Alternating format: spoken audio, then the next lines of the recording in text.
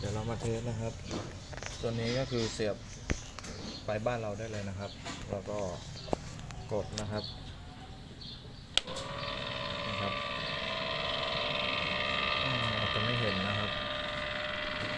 แล้วอันนี้ก็คือปิดนะครับ